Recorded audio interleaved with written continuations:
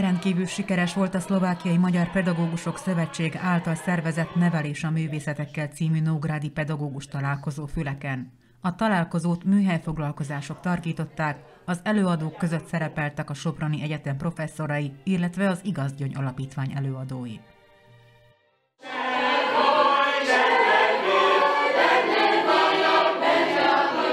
A Nógrádi pedagógus találkozóra utoljára kilenc évvel ezelőtt került sor. Az ideit nagy érdeklődés övezte, hiszen összesen száz pedagógus vett részt rajta, akik az ország különböző pontjairól érkeztek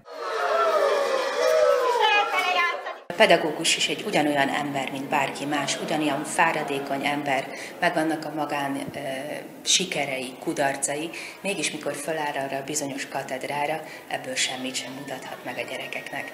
Úgy gondoltam, hogy ez egy megfelelő alkalom, egy kiváló alkalom arra, hogy feltöltődjenek a pedagógusok, hogy egy kicsit begyűjtsék az új ismereteket, új ötleteket. A találkozón a művészet szerepét hangsúlyozták az előadók, Többek között a népdal, a néptánc, illetve a komoly zene beépítését a tanórákba, hiszen a gyerekek érzelmi és értelmi intelligenciájára nagy hatással van a művészeti nevelés. Az eseményen Ismerkedés a tulipánokkal című programot dr. Balatoni Katalin vezette, aki a népdal és a néptánc elemeit felhasználva tanított módszertani ötleteket a pedagógusoknak. A Szlovákiai Magyar Pedagógusok Szövetségének elnökét örömmel töltötte el a találkozó megvalósulása. Úgy látom, hogy nagyon sikeres, hogy újra élet a Nográdi Pedagógus találkozó, hisz amint végig tekintettem itt a teremben, mosolygó, csillogó szemű pedagógusok vannak, holott tudjuk, hogy milyen többletmunkával vannak most terhelve,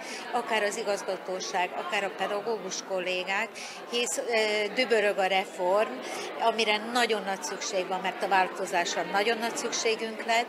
Ez kihívás, de a kihívás azt jelenti, hogy közösen tudunk ennek a kihívásnak megfelelni, hiszen ez egy közös út, és nem tesszük ezt másért, mint a magyar gyermekek jövőjéért. A találkozón a zene és a gyerekek kapcsolatáról Révészné Pálfi Krisztina és Révész József tartott szekciós ülést. Sok-sok kutatás bizonyítja, hogy az értelmünkre, az érzelmünkre, a teljes személyiségünkre van, van hatással a művészeti nevelés. Kodály azt mondta, hogy azért fontos a zene, mert teljes embert nevel, és az iskolában, az óvodában teljes embert akarunk nevelni. Valóban nagyon fontos az érzelmi, értelmi intelligencia, mennyire vagyunk műveltek, mennyire vagyunk tájékozottak, de az érzelmi intelligencia legalább ennyire, ha nem fontosabb.